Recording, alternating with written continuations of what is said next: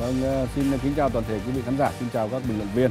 Như vậy các trận đấu ờ, cuối cùng của cái vòng đấu này của V-League cũng đã diễn ra hết sức là hấp dẫn. Xin chúc mừng ờ, hai ờ, quân nhân, anh Tùng và anh Nam, cựu quân nhân nhỉ. Anh Tùng thì cũng đang là gọi là quân nhân, là đang là quân nhân, anh Nam thì bây giờ là gì là cựu quân nhân, cựu chiến binh. Cựu chiến binh rồi. Là có đội ờ, bóng của anh đã có một chiến thắng ờ, cũng rất là xuất sắc trước ờ, một đối thủ mạnh là đội Hà Nội. Đó là một trận đấu mà tôi nghĩ là chất lượng chuyên môn rất tốt. Hai đội đã thi đấu một công hiến và quyết liệt nhưng ở chừng mực để cho chúng ta thấy rằng đây là một trận đấu derby thủ đô mà rất là đáng nhớ và thể công cũng không phải lúc nào cũng thắng được Hà Nội nên là đây là một trận thắng tôi cho rằng là quan trọng đúng không anh Tùng 10 trận gần đây thì, th- thì công thắng nó có hai trận thôi. Đấy, thì đâm ra cái trận này nó nó nó rất là có ý nghĩa, ý nghĩa là bởi vì là thứ nhất là lượt trận lượt về, lượt đi là thua 0-2 rồi, thì lượt về cần phải có một cái sự cải thiện. Thứ hai nữa là vừa mới thua cái trận ờ, trước Hoành Gia Lai vừa rồi là nó cũng dở. Nên là cũng cần phải củng cố lại.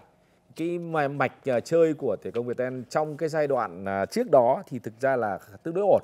Nhưng à, nó bị ngắt bởi cái cái cái cái đợt mà nghỉ nhường chỗ cho U23 Việt Nam nên khi quay trở lại thì có vẻ như là Đức Thắng và đội bóng của mình nó hơi bị lỡ nhịp một chút. Trận gặp Hoàng Anh Gia Lai một trận đấu hơi thiếu may mắn nhưng cũng phải thừa nhận rằng là Hoàng Anh Gia Lai chơi một cái chiến thuật tốt để mà hóa giải những cái mũi nhọn của thể công Việt Nam và cuối cùng là họ đã có được trận thắng. Chúng ta đã từng bật nói đến cái chuyện là thể công việt nam rất hay thua ngành Gia Lai trên sân thằng đấy và lần này một lần nữa nó lại lặp lại. Thế nhưng mà ở trận gặp Hà Nội này thì Đức Thắng uh, cũng đã chứng minh được rằng là đội bóng này vẫn là một đội bóng được tổ chức tốt đang đi trên một cái con đường nó nó nó nó chậm nhưng mà nó có cái cái xu hướng quay trở lại và cái bàn thắng mở tỷ số của Hoàng Đức là một bàn thắng rất là hay ờ, một pha phối hợp nó có lớp lang nó có tính nhịp điệu nó có cảm giác nó có chất kỹ thuật ở đấy. Và tôi nghĩ rằng đấy là một trong những thứ nó nó nó điển hình của một quá trình xây dựng trở lại. Và ngày hôm nay thì như chúng ta đang ở trong một cái giai những ngày có thể nói là lịch sử kỷ niệm 70 năm chiến thắng ờ, Điện Biên. Thì trên khán đài của ờ, sân đằng đẫy thì rất là nhiều các cổ động viên của thể công là cử cái đoạn ờ, nhạc giai điệu chiến thắng điện biên ấy. thì nó là một cái, cái khoảnh khắc nó rất là hào hùng. Nhưng mà nó có một ý nghĩa nữa là vì 70 năm điện biên cũng có nghĩa là 70 năm thể công thể công được ra đời sau khi có chiến thắng điện biên. À, trước cái thềm của người giải phóng thủ đô thì thể công ra đời từ trường sĩ quan lục quân. Và đương nhiên là năm nay có thể là cái thành tích ở giải vô địch quốc gia của thể công nó nó không đạt đến một cái tiêu chuẩn đạt được cái mong muốn chỉ tiêu. Ví dụ như là vị trí trong top 3 thì bây giờ là vẫn là rất là khó khăn cho dù vẫn còn đến 9 vòng nữa. Nhưng tôi nghĩ rằng là là là cái cái cái, cái những cái bước đi như thế này những cái trận đấu như thế này vì đây là trận derby thủ đô trước một đối thủ rất là quen thuộc rất là, là truyền thống thì thể công Viettel vẫn sẽ củng cố được. Và họ còn một mục tiêu một cái điều mà chưa bao giờ họ có được trong lịch sử của mình đó là cúp quốc gia. Họ vẫn Vâng. còn có thể vươn tới. và cũng sẽ gặp lại chính Hà Nội. Chính xác là như thế. đó là một trận đấu cũng ờ, đáng để chờ đợi. Ờ, anh Nam còn Hà Nội thì sao? Ờ, vẫn có cái gì đó nó trúc chắc nó vẫn chưa vượt lên được. Hà Nội thực sự là họ đã sa sút. Phải thừa nhận một điều đó là họ đã rất cố gắng để có thể vươn lại có thể đứng dậy rồi họ cố gắng để có thể vượt mình. Nhưng phải nói thực sự là thực lực của họ lúc này chỉ đến thế thôi họ đang làm tốt nhất những gì có thể rồi nhưng nhìn đi nhìn lại con người của họ thực sự là bất ổn ngay cả chất lượng đội binh một trong những niềm tự hào của bóng đá Hà Nội thì bây giờ phải thẳng thắn thừa nhận là đội binh của Hà Nội thua công an Hà Nội thua Viettel ờ, thua nhiều đội bóng khác và lần này Ngoại thì binh ngoại binh xuất của sắc, họ, ngoại không? binh của họ cũng cũng lựa chọn những cái tên chưa thực sự xuất sắc và nó chưa thực sự phù hợp. Tất nhiên là Hà Nội sẽ phải mất ờ, khoảng ờ, một năm hoặc là có thể là hai năm nữa. Bởi vì chúng ta cũng đã nói nhiều về cái ờ, giai đoạn trước khi mà Hà Nội có được một cái thế hệ duy mạnh Đoàn Văn Hậu, Quang Hải trưởng thành từ những cái lò đào tạo trẻ Hà Nội rất là tốt. Nhưng có một quãng thời gian chúng ta đã biết rằng lò đào tạo trẻ của Hà Nội đã bị bị bị hỏng. Và từ cái đó cái giai đoạn mà họ cái lứa 99 2000 2001 2002 Hà Nội không có cầu thủ nào thực sự ấn tượng cả và cái quân bài xuất sắc nhất là Văn Trường lúc này thì cũng vẫn đang loay hoay tìm lại cái hình ảnh của của thế hệ cầu thủ trẻ Hà Nội. Thế nên tôi nghĩ rằng Hà Nội thực sự khó. Tôi cũng đã được bình luận trận đấu giữa Hà Nội và Sông Lam Nghệ An cách đây ít ngày vòng đấu trước. Ờ, họ chơi nhỉnh hơn ờ, Sông Lam Nghệ An nhưng cuối cùng thì cũng chỉ có được một bàn thắng. Và một cú đá vu vơ của Olaha là đủ cho Sông Lam Nghệ An có được một điểm cho Hà Nội rồi. Và đó không phải là điều xảy ra một cách bất thường ở giải đấu này mà nó tương đối thường xuyên. Có nghĩa là họ không còn cái uy danh của một đội bóng lớn, họ không còn chất lượng của đội bóng lớn. Đâu đó thỉnh thoảng vẫn có những cái pha xử lý của Văn Quyết, của Phạm Tuấn Hải hay, nhưng nó không đủ để kéo một cái tập thể đi lên khi mà cái giải đấu năm nay thực sự là cực kỳ khó lường.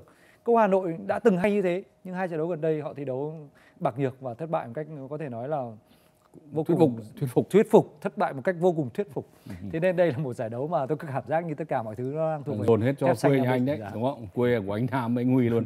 Nam Định thì đã có một chiến thắng cũng rất là, là đáng giá trước đội nhì bảng là Bình Dương và giờ khoảng cách là 8 điểm. Vâng. Quả giải thật. đấu này là đỉnh và đo- đáy là tương đối rõ rồi đấy ạ. Do vậy là cái tính ganh đua hấp dẫn thì tôi nghĩ rằng là nó đang đang làm chúng ta nó không được ờ, sướng lắm lắm. đúng không ạ? Bởi vì ờ, cái đáy anh Khánh Hòa bây giờ có 10 điểm Ờ, xếp trên họ là sông Lam Sông Nghệ Lam An Nghệ thì là 15 15 điểm. điểm. nghĩa là cách khoảng cách là 5 điểm. Tất nhiên còn 9 vòng đấu thì còn nhiều biết. Ờ, còn một cái tên nữa mà chúng ta cũng sẽ phải nhắc đến ờ, ở phần sau chương trình đó Hồng Lĩnh Hà Tĩnh khi mà họ đã phải mất đi năm cầu thủ rồi.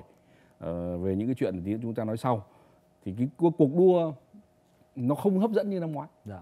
ít ra chúng ta nó có sự rằng xé ở top trên và top dưới đúng không? Nhưng mà bây giờ chức vô địch thì có lẽ là không thoát được khỏi tay Nam Định anh Huy nhỉ Tôi cảm nhận được là Nam Định mùa này rất quyết tâm và trong cả một quá trình từ đầu giải đến giờ thì giải đấu ngắt ra nhiều lần ấy cũng là một cái thuận lợi cho họ.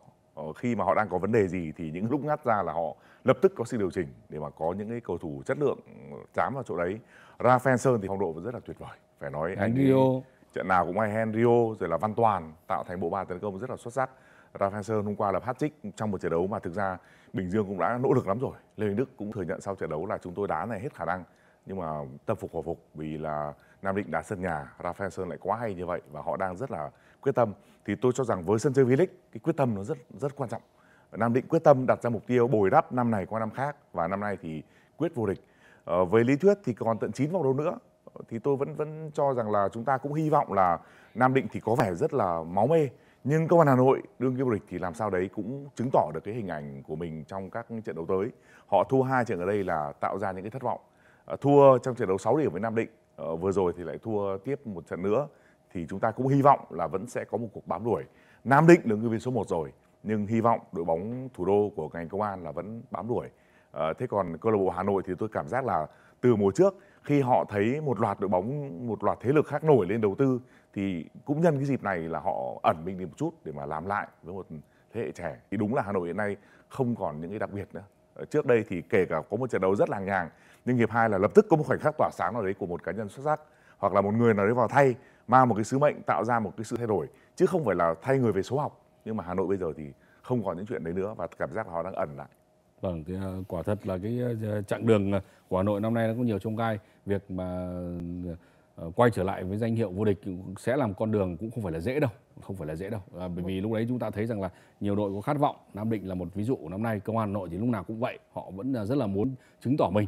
Ờ, năm ngoái đã có một chức vô địch rồi nhưng mà cái tính thuyết phục thì nó chưa thật là cao. Thì bây giờ cũng rất muốn làm sao là à năm nay không ở trong cái đội vô địch được thì cũng phải nằm trong cái top đầu nó nó xứng đáng cái cái, cái đầu tư của của đội bóng này Ờ, thể công nói thế thôi chứ tôi đang hình dung cái kênh thể công này của anh thắng ấy nó nó nó nó đâu đó nó hơi giống hình ảnh của anh Chelsea bây giờ ấy. Nó, nó, nó, nó rất là lung tung Dạ, nó chưa chưa định Nó hình không được. định được hình. Nó có nó là một Thế bóng rất mà- là tiềm năng, thế rất là một mà- tiềm năng nhưng nó chưa định hình được cái cái đường nét và Đấy. cái hướng đi của đội bóng. đấy thế mà như các anh hay ở anh bây giờ thì hai trận vừa rồi thì Chelsea thì tuyệt hay thành ra tôi nói thật là sang năm tôi thì thì Chelsea sẽ là đối thủ ghê gớm đấy vì đội này nó bắt đầu trưởng thành rồi Vâng, Nó tôi cũng đấy. hy vọng là anh nói ờ, gọi là nó đúng về cái trường hợp của thể công Việt Nam với Đức Thắng bởi vì Đức Thắng ở nhận đội ở mùa giải này là giữa đường. Đúng không? Bảo Khanh làm trước rồi Đức Thắng nhận sau. Ờ, cho dù trong thành phần thi đấu này của thể công Việt Nam thì rất là nhiều những cầu thủ chất lượng và cũng đã có những người đã từng trưởng thành dưới bàn tay của Đức Thắng ở một cái góc độ nào đó. Nhưng nói thì thôi chứ cũng là rất là lâu rồi anh mới quay trở lại với đội bóng.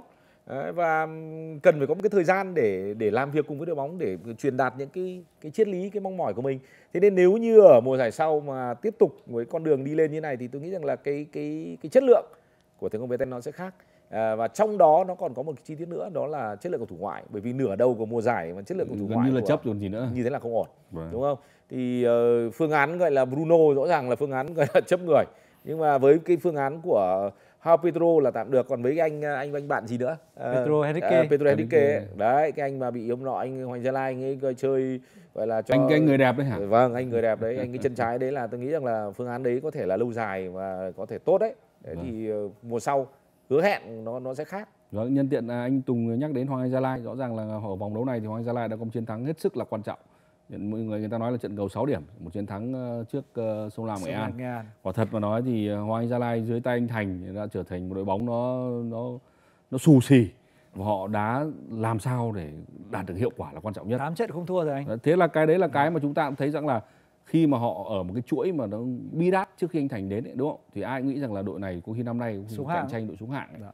Nhưng bây giờ thì họ dần dần họ cứ bò dần bò lên thắng không quá nhiều thế nhưng mà không thua đã không thua đã và cuối cùng thì bây giờ họ cũng lưng chừng ở bảng xếp hạng rồi Và có một cái kịch bản quen thuộc của ờ, FPBank Hoàng Gia Lai là tôi cũng may mắn là được bình luận Hoàng Gia Lai hai trận đấu gần đây nhất.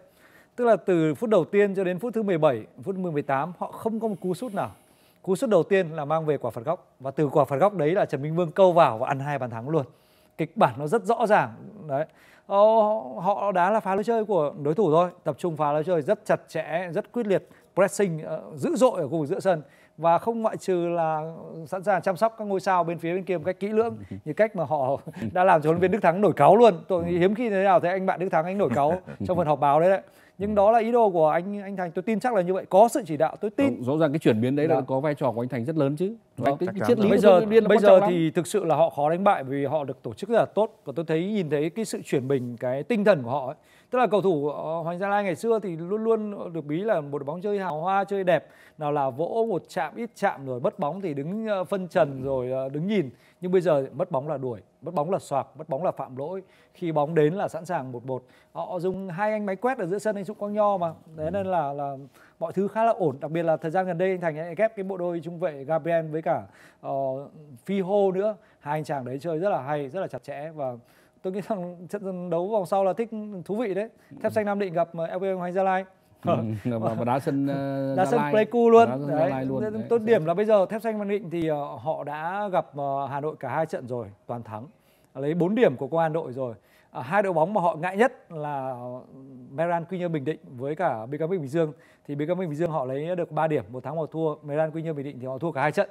Nhưng đó là những đối thủ mà họ ngại nhất. Còn bây giờ trước mặt họ thì thanh thang đường rộng thanh thang rồi và không biết là sắp tới FPV Anh Hoàng Gia Lai liệu có cản chân được Thép Xanh Nam Định hay không. Tôi cũng rất chờ đợi trận đấu đó. nhưng tôi thì nghĩ trận đấu đó thì cái khả năng hòa là cao đấy Dạ. khả năng hòa là cao đấy Đó nhưng thì, mà, ờ, thực ra cũng không ảnh hưởng lắm đến đến đến cái chặng đường đi của đội Nam Định đâu đội Nam Định năm nay thì đúng thật như anh Huy nói là cái tính quyết tâm rất là cao và nói thật là nếu mà năm nay Nam Định lên ngôi thì mình cũng vui Dạ. vì nó cũng là mang lại Xứng cái cái, Dạ. cái, thứ nhật niềm vui cho cho một cái cái địa phương mà yêu bóng đá như thế với nhiều tài năng như thế và nó cũng có những truyền thống đấy nghĩa là bây giờ như thế này thành 40 năm đấy nhỉ 39 năm. 39 năm 39 mà năm đến rồi. 40 năm đấy còn gì nữa 1985 ạ. 1985 đấy. đấy thì ờ, rõ ràng là là là V-League đang ờ, có những cái hấp dẫn ở đoạn đó.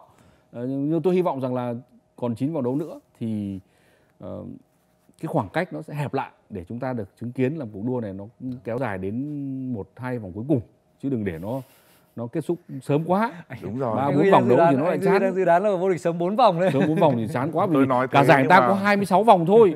Mà Không, tức là mình bốn nói vậy thì- nhưng mà mình ờ, cũng thấy là cái mạch này cho đến cuối giải là duy nhất gọi là dài nhất từ đầu giải mà không bị ngắt ra thì cũng hy vọng là các đội bóng có thể vừa đá vừa điều chỉnh còn Hà Nội trở lại sau quãng nghỉ thì loạt choạc như vậy, nhưng mà họ vẫn là đội bóng có nội lực. Ờ, hôm vừa rồi thì họ thua là một phần văn thanh thẻ đỏ không đỡ được. Thế còn trận đấu trước thì là trận đấu 6 điểm với Nam Định. Thế còn đến trận sau họ điều chỉnh và cái mạch vẫn còn 9 trận nữa mà là 9 trận liên tục, không bị ngắt ra. Thì một đội bóng có tiềm lực như vậy, huấn luyện viên giỏi thì họ sẽ có những cái tổ chức. Thế còn Nam Định ngược lại đá với cái mật độ như vậy, có những lúc cũng phải lơi ra thì tôi Vâng. nghĩ là vẫn Cho nó vẫn nói cái điều tích cực chứ. ờ, cái sự hấp dẫn của V-League là cũng làm chúng ta vui thế nhưng là cũng tại V-League này vừa có một câu chuyện rất là buồn đó là việc mà năm cầu thủ của Hồng Lĩnh Hà Tĩnh đã bị ờ, tạm giữ vì việc nghi dùng chất ờ, cấm đúng không? Thì thực ra mà nói khi mà tòa thì chưa kết án thì chưa ai có tội cả.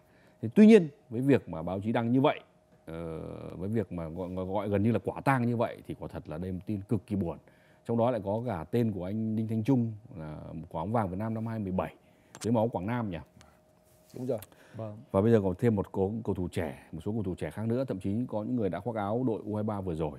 Quả thật là đây một tin mà chúng ta cũng cứ nói chuyện với nhau là nó mang lại cái, cái nỗi buồn rất lớn. Vì tôi sợ thế này các anh ạ. Nó không chỉ có năm cầu thủ này. Đấy mới là cái điều đáng sợ. Nếu chỉ có năm người này thôi thì đã là một chuyện buồn lắm rồi. Thì bây giờ nó sợ là là là liệu có chỉ có là năm cầu thủ này hay không hay còn những người khác nữa. Và đấy là trong giới thì anh em cũng dì dầm cũng nói cũng nói là còn nữa cơ nhưng mà nếu mà đúng thế thật thì buồn lắm anh nào Uh, tôi cũng uh, bần thần mấy ngày hôm nay bởi vì uh, ở trong số đó có một người học trò cũ của tôi. Và nhiều lúc tôi không tin không tin vào cái cái cái sự thật đấy bởi vì um, trong quan điểm của tôi uh, Đinh Thanh Trung nó là một con người khác một mẫu cầu thủ mà tất cả các các đồng nghiệp các cầu thủ khác đều dành cho một cái sự tôn trọng rất là cao. Ồ, rồi ờ, một cầu thủ đã từng học trò của tôi học trò ngoan của tôi khi mà còn tôi còn làm ở Viettel. Thế nên là tôi biết cái thông tin này từ khá sớm từ ngày thứ bảy từ lúc vừa mới xảy ra câu chuyện. Nhưng mà mình cứ phải bắn đo suy nghĩ rồi mình phải kiểm chứng xem mọi thứ nó là như thế nào. Nhưng mà thực ra cái vấn đề anh Vũ đặt ra đúng. Không ai có chứng cứ không ai có một cái dẫn chứng nào cụ thể. Nhưng đó không phải là năm người duy nhất ở cái sân chơi V-League này uh, dùng cái từ đó. Đó đã là một cái hiện tượng nó kéo dài khá nhiều năm rồi. Và bây giờ nó mới là một cái um, bộc phát. Và tôi nghĩ rằng có thể rất nhiều người sẽ đau có thể rất nhiều người cũng sẽ bị ảnh hưởng. Uh, câu lạc bộ Hồng Lĩnh Hà Tĩnh bị ảnh hưởng tập đoàn Hành Sơn bị ảnh hưởng bóng đá Việt Nam bị ảnh hưởng. Nhưng uh, tôi nghĩ là cũng nên cũng có một cái cái cái, cái vụ nổ Big Bang như thế này để uh, mọi thứ nó được rõ ràng hơn. Uh, các cầu thủ khác cũng sẽ có những cái bài học và bản thân các câu lạc bộ khác cũng sẽ có những cái bài học để thay đổi lý. cái cách quản lý của mình. Quản lý giáo dục. Uh, thời gian gần đây bóng đá đã chuyển giao giữa từ những cái bóng đá từ cái thời bao cấp của chúng tôi. Ngày xưa chúng tôi là ăn ở tập trung từ thứ hai cho đến tận thứ bảy. Uh, nó quá ràng buộc nó quá khổ sở nó quá gò ép nó, mỗi thời mỗi khác bây giờ thì các thủ đã chuyên nghiệp hơn. Họ được phép ở với gia đình từ thứ hai đến thứ sáu. Có thể là tối thứ sáu họ mới tập trung lại khách sạn để chuẩn bị cho trận đấu. Ờ, nhưng ngược lại cái nhận thức cái suy nghĩ cái tư tưởng của các cầu thủ nó không đồng hành với cái chất chuyên nghiệp đó. Chuyên nghiệp là gì? Chuyên nghiệp là người ta giả cho mình cái số tiền như thế nào thì mình sẽ phải thực hiện và công hiến làm sao đúng với cái giá trị mà đồng tiền người ta giả cho. Thế có nghĩa là anh ghi ký hợp đồng 1 tỷ thì cái giá trị của anh phải mang lại cho câu bộ nó phải trị giá 1 tỷ. Chứ anh không thể dùng một tỷ đó, rồi anh chơi hời hợt, rồi anh đi chơi bời, rồi anh tất cả mọi thứ. Thì đấy, bóng đá chuyên nghiệp chuyển mình, nhưng cái suy nghĩ của cầu thủ, cái mức sống của cầu thủ, cái nếp sống của cầu thủ, nó chưa thực sự chuyển mình theo chuyên nghiệp. Thì cái chuyện nếp sống rồi tất cả cái thói quen vân vân thì mình chưa nói đến, nhưng đây là đây là câu chuyện của việc là vi phạm pháp luật cơ chứ nó không phải là chỉ là chuyện là là thôi thì ông ông ông ông, ông không biết giữ gìn với ông ở nhà được ờ, từ thứ hai thứ sáu đúng không? Xong ông đi chơi ông đi nhậu uống bia rồi uống rượu rồi qua đêm rồi vân vân vân. Thì nó là một chuyện đã, đã đáng đáng đáng lên án rồi đáng phê bình rồi đáng chỉ trích rồi vì cái tính chuyên nghiệp nó không có. Nhưng đây là câu chuyện mà nếu đúng như vậy thì tôi nói là nếu nhé bởi vì chúng ta không thể thay tòa để kết luận kết kết kết, kết án được. Phải điều tra phải có kết tội. Nhưng mà nếu mà như thế thì đây là chuyện vi phạm pháp luật đây là chuyện chuyện dùng Đó. cái chất cấm như thế là là là là, là nói thật là là hỏng. Mà hỏng thế mà nếu mà nó là hiện tượng mà hy vọng nó chỉ là hiện tượng um, nhỏ. Nhưng nhưng liệu có nhỏ không? Đấy là cái câu mà chúng ta là đang cứ, cứ, cứ băn khoăn với nhau đúng không? Chúng ta cũng nghe cái chỗ này nói nghe chỗ kia nói chúng ta cũng chẳng bao giờ có bằng chứng đâu. Thế nhưng mà ở lạ rất là Việt Nam có nhiều lời đồn để nói nó toàn đúng. Đây là tiếng chuông cảnh tỉnh ấy. Ờ, cũng là lần đầu tiên có một cái vụ mà uh, nghi dùng chất cấm tập thể như vậy. Trước đây thì cũng chỉ là những lời đồn thôi nhưng mà lần này là lần đầu tiên mà có một số lượng đến 5 cầu thủ như vậy là bị bắt tại chỗ luôn. Thế thì um, bóng đá trước đây chúng ta đã từng biết đến những cái vụ bán độ gây buồn lòng thì sau đó các câu lạc bộ cũng cảnh giác hơn trong việc quản lý cầu thủ của mình. Rồi là cái việc mà chỉnh mảng tập luyện rồi là thi đấu không đúng phong độ thì cũng nhiều rồi nhưng mà cũng là đây là lần đầu tiên có cái dính đến chất cấm như vậy. Thì tôi nghĩ là một cái tiếng chuông cảnh tỉnh có thể là cũng hơi muộn. Nhưng mà dù sao muộn còn hơn không các câu lạc bộ sẽ tập trung hơn. Và trong câu chuyện này nếu mà có nghi nhau thì không khó gì cả. Thử máu là ra ngay. Vâng đúng thì bây giờ và hơn vì từ trước nay V-League gần như là không chúng có ta thử máu. không có cái thử không doping đúng không? doping không có thử đấy là vấn đề đấy. đấy. ý tôi muốn nói là câu chuyện đó Thực ra bây giờ dễ mà ví dụ như là cứ hai tuần câu bộ sau buổi nghỉ kiểm tra đột xuất ở đây nó có nó ra hết. ở đây nó có một vấn đề là anh Vũ vừa đặt ra là câu chuyện rất là lớn đấy là vấn đề liên quan đến vi phạm pháp luật. Vì, vì là luật pháp của chúng ta là đương nhiên là có cái các cái hình thức gọi là ờ, các cái chế tài rất là là là, là nặng đối với cái hành vi gọi là tàng trữ và sử dụng tàng trữ và sử dụng. Và đặc biệt là tổ chức. Thì là nặng nữa. Thì nó rất là nguy hiểm đúng không? Thế đâm ra cái nhóm những cái, cái, cái cầu thủ mà dính vào đây này nếu như người ta phân tích kỹ ra ấy, thì cái bạn nào mà bạn ấy liên quan đến cái chữ tổ chức ấy, thì là cái sự trách nhiệm nó sẽ là mức độ lớn hơn đấy. Thì cái đấy cái vấn đề đấy nó sẽ là còn nặng nề hơn nữa. À, thì đấy là một câu chuyện. Và câu chuyện đấy nếu cô nó không phải chỉ là năm người này mà cách đây chưa lâu ấy là trong một cái diễn đàn của của ban chấp hành liên đoàn Việt Nam đã có người cảnh báo cái vấn đề này với ban chấp hành rồi chứ không phải là cho đến cái cái câu chuyện này rồi bắt đầu uh, liên đoàn cộng với cục thể dục thể thao bắt đầu mới đưa ra những cái văn bản yêu cầu các uh, câu lạc bộ là quản chấn chỉnh siết chặt quản lý. Ờ, thì đã có cảnh báo rồi nhưng cái cảnh báo đó không nhận được một cái gọi là cái phản hồi ở chiều ngược lại. Một cái sự tiếp thu mang tính chất là ồ nó giật mình thế à nó nguy hiểm như thế à hay nói cách khác là nó có thể tạo ra cho chúng ta những cái hệ lụy. Hệ lụy đầu tiên đấy như chúng ta là thấy vấn đề lớn là pháp luật nhưng hệ lụy thứ hai nó rất là thể thao thôi. Nó là câu chuyện liên quan đến doping liên quan đến chất kích thích. Và rõ ràng đấy là cái thứ mà chúng ta vi phạm đúng không? Thế thì nếu như chúng ta ở trong bầu không khí của chúng ta trong môi trường bóng đá của chúng ta mà nếu như nó tồn tại cái việc đó thì rõ ràng nó là rất không ổn ở trong bầu không khí trong nước. Rồi nếu như nó phát sinh ra những cái tình huống thi đấu quốc tế thì là rất thì câu tạp. chuyện nó còn thế nào nữa đúng không? À, việc các vận động viên thể thao Việt Nam của chúng ta sử dụng thuốc không đúng với quy định. Tức là nói một cách ngầm hiểu là chúng ta đang dùng gọi là cái cái cái cái, cái là hỗ trợ ấy nó không tiêu chuẩn ấy thì đã từng xảy ra rồi. Và chúng ta cũng đã bị cũng đã cấm bị tước huy chương rồi vân vân rất ở nhiều rồi. Games rất nhiều lần nhưng mà rồi. cái chuyện đấy nó có vẻ như là là chúng ta đang hiểu theo nghĩa là thôi thì đấy là một cái sự sơ suất. Còn đây là những cái hành động có sự chú ý. Mà chúng ta không ý thức được rằng là cái việc này nó sẽ nguy hiểm. Mà đấy các em đấy từ em lớn đã từng là có thành tích rất cao để cho đến những em trẻ hơn là những em đã đang tham gia thành phần U23 Việt Nam, hoàn toàn có thể trong một hai năm tới nếu như phát triển tốt lên đội tuyển, đúng không? Thế thì cái chuyện gì nó sẽ xảy ra nếu như chúng ta không không kiểm soát một cách nó tiêu chuẩn? Ngay từ đầu. Bây giờ đấy thế thì chúng ta mới nói rằng là thực ra thì bây giờ cái phương pháp để kiểm soát nó thì không khó tí nào cả. Đó bây giờ nó quá sẵn rồi thử máu rồi kiểm tra doping rồi kiểm tra doping thì thì không không dễ bởi vì nó còn là, là phòng thí nghiệm rồi các chất cấm rồi nó theo cái cái cái list của cái cơ quan chống doping quốc tế thì nó còn là phức tạp bởi vì nó có thể đòi hỏi kinh phí. Nhưng cái việc mà chất, chất gây nghiện chẳng hạn dạ. ví dụ ma túy chẳng hạn thì là cái bây giờ là Ra là, ngay, là ra ngay lắm, cái- là đơn giản là khác mà nó không không không phải là quá tốn kém nhưng cái này là cái mà tôi nghĩ rằng là quả thật là các đội bây giờ phải suy nghĩ rất là nghiêm túc về chuyện này trong việc tổ chức kiểm tra nó. Để để không thì nói chung là thành hệ lụy bây giờ Hồng Lĩnh nói thật là bây giờ khoảng cách với Khánh Hòa là 10 điểm nghĩa là họ cũng đã có cái độ an toàn nhất định đúng không? Thế nhưng mà nhưng mà chưa biết thế nào đâu khi mà họ thiếu hụt lực lượng thế này. Chín vòng đấu nữa mà các đội ở nhóm dưới người ta nhìn thấy như vậy là người ta thừa thắng xông lên. Tôi nghĩ là sẽ còn có những cái cái biến ở phía dưới chứ không không đơn giản đâu. Tôi- cái việc mà dính vào chất cấm này bên cạnh cái việc gây ra nghiện ngập thì chúng ta đều biết rồi nhưng mà ở góc độ một vận động viên thi đấu thì sẽ dễ bị khống chế đấy rất nhiều cái kết quả bất thường có thể là từ những cái rồi, bị thao ông túng. mà mà bị như thế dẫn đến lúc lại cơn lên độ. cơn lên thì là thao túng các kết quả rồi là bắt cầu lẫn nhau và nó loạn cả giải đấy rất nguy hiểm Ờ, Tôi nghĩ rằng ờ, vấn đề lớn nhất ấy, nó đến từ cái ờ, suy nghĩ và nhận thức của cầu thủ. Thực ra bản thân cá nhân tôi cũng nhiều lần đã đã được tiếp xúc với những cái môi trường như vậy rồi. Khi tôi còn thi đấu cho thể công, khi tôi đá cho đội tuyển quốc gia nhận được nhiều lời mời như vậy rồi. Ờ, tiếp xúc với việc dàn xếp tỷ số, tiếp xúc với những cuộc chơi như vậy rồi. Rất dễ. Thậm chí là có những lời mời gọi à, hãy vào đường dây của chúng tôi đi, ờ, tôi sẽ giúp bạn thành vua pha lưới sẽ tạo điều kiện cho bạn ờ, có được một cái cuộc sống tốt hơn nọ kia tốt hơn nhưng quan trọng là mình suy nghĩ thế nào về việc đấy mình ờ, đánh giá và nhận thức thế nào về tất cả những thứ đó. Ờ, tôi biết là ban huấn luyện Hồng Lĩnh Hà Tĩnh sau khi kết thúc trận đấu với Quảng Nam đã có sự nhắc nhở đối với các cầu thủ về việc sinh hoạt và giữ gìn sức khỏe bởi vì ờ, cái lịch thi đấu là 4 ngày một trận. Đã nhắc đã nhắc rồi. Sau đấy nhưng mà sau đó thì nó lại rất nhiều những cái mấu chốt nó liên quan đến tình cờ là đội thì chuyển về đại bản danh mới còn các cầu thủ lại tổ chức liên hoan party chia tay khách sạn cũ rồi sau đó thì họ thực hiện cái việc đó ở ngay chính cái khách sạn cũ nên ban luyện cũng không kiểm soát được bởi vì thường là các cầu thủ chuyên nghiệp, các đội bóng chuyên nghiệp thì sau khi thi đấu trận đấu xong thì họ sẽ cho các cầu thủ tự do. Thì đấy là những cái việc mà cái quần quản lý của bộ. Nhưng tôi nghĩ rằng đang có vấn đề rất lớn đến từ những cái tư tưởng, cái nhận thức của các cầu thủ. Họ chưa nghiêm túc với chính công việc của mình. Họ chưa nghiêm túc với chính cái bản chất con người mình. Họ chưa nghiêm túc với chính cuộc sống của họ trong cái câu chuyện đau buồn này nó có những cái câu chuyện nó thực sự đã đau xót.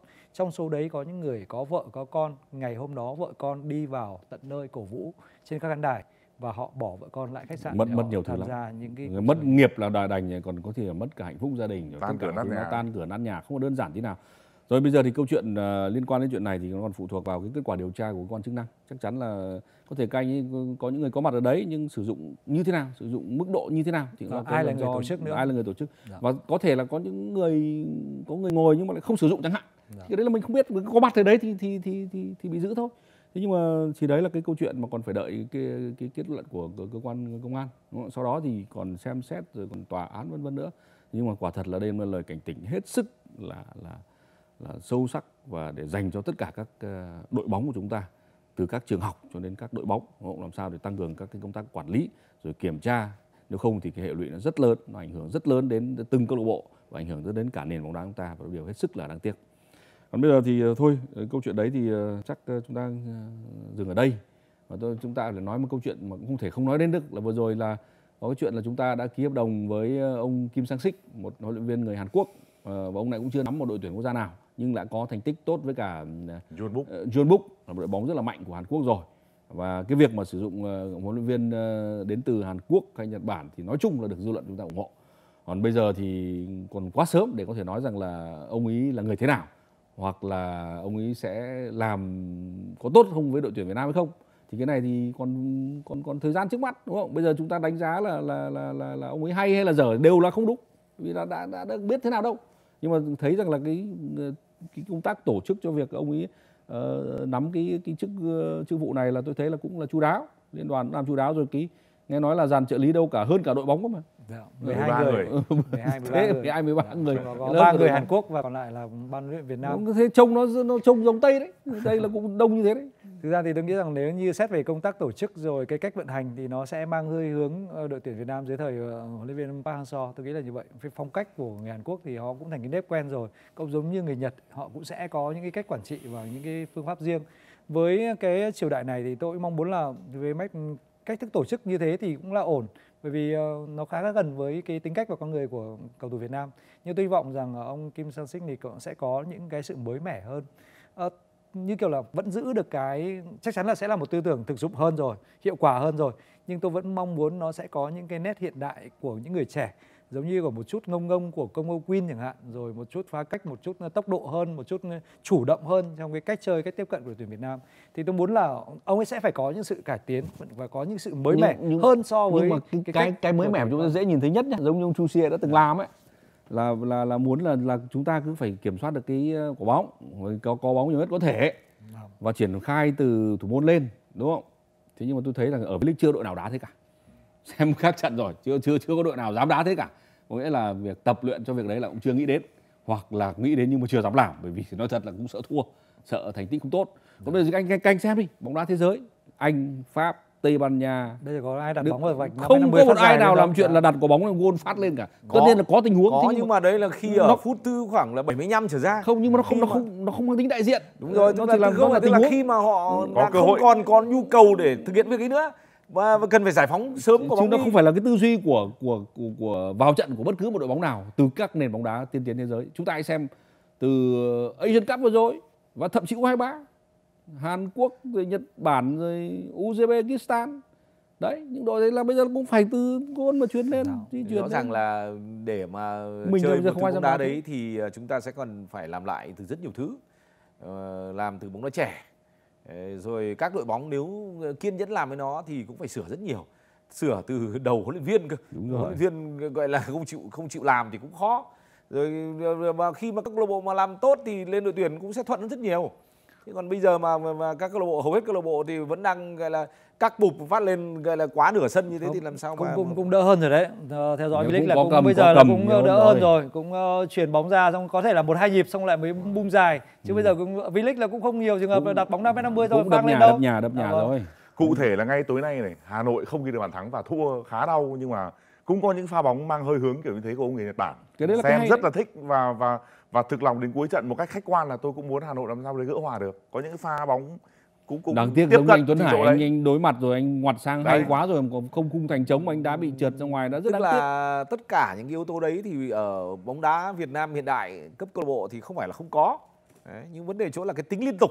Rồi. Vấn đề là cái tần số đấy là cái cường độ mà nhiều khi mong muốn đó. như vậy nhưng mà kết quả lại không đạt được mục đích. Thì lại liệu có kiên nhẫn không? Lại phải quay đầu thì lại ở kia. trận đấu như thế thì ví dụ như là anh Đức Thắng chẳng hạn thì hiệp một thì anh ấy sẵn sàng ở một cái thời điểm nào đó là xong sau phút thứ 10 thì anh sẽ pressing. Anh sẽ sẽ sẽ gọi là theo người. Nhưng mà khi mà hiệp 2 mà đã đủ rồi thì là kéo về mà đá ở nhà thôi. Thì đấy là cái việc điều chỉnh nó cũng bình thường. Thế thì nếu như ở cấp độ đội tuyển quốc gia thì tôi nghĩ rằng là huấn luyện viên nào cũng thế thôi mà như ông Kim Jong Sik thì tôi nghĩ rằng là khả năng đấy cũng sẽ là cao, tức là sẽ linh hoạt, cân đối giữa một cái thứ nó gọi là đá chắc chắn và cái thứ xu hướng của bóng đá gọi là đương đại bây giờ là phải phát triển trái bóng từ phía dưới lên.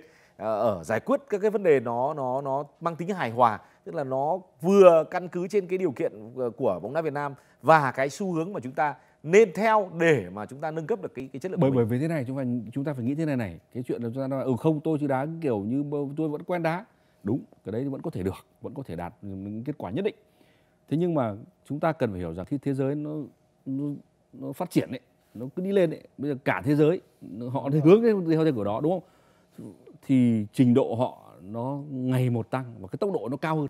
Thế do vậy khoảng cách với chúng ta lại càng dài thế thì liệu bao giờ chúng ta mới mới, mới đi được World Cup liệu chúng ta mới bao giờ có được thành tích cao ở Asian Cup đúng Thực ra anh thì đấy Vũ- là cái câu chuyện nó cứ dài dần ra như thế Anh Vũ nhớ SEA Games 32 vừa rồi trận chung kết giữa Thái Lan và Indonesia nó cũng đã có một hình ảnh là gì? Thái Lan cũng thủ môn chuyền bóng ở khu vực 16-50, Indonesia đẩy toàn bộ đội hình lên quay luôn.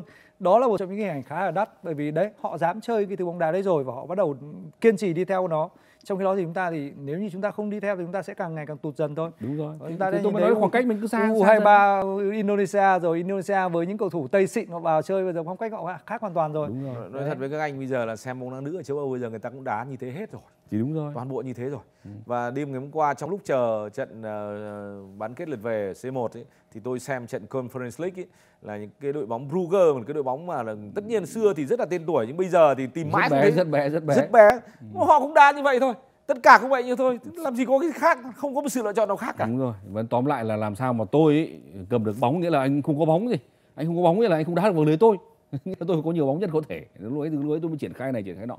Thôi được cái triết lý nhưng mà nhiều khi người hâm mộ chúng ta vẫn chưa quen. Và và hơn nữa là gì? Là cũng không kiên nhẫn đủ để đợi đến lúc chúng ta gọi là ờ, thực hiện ờ, gọi là tương đối nhuần nhuyễn những cái mọi bài người cơ bản như vậy. mọi người có một cái ý đúng là, là trình độ chúng ta giờ là không đáp ứng được việc đó. Mọi người có một cái ý đấy đúng. Nhưng cái ý đấy nó nó mới chỉ nửa một nửa vấn đề thôi. Bởi vì nếu như chúng ta không có chịu làm ấy thì không bao giờ được Không bao giờ được. Dạ.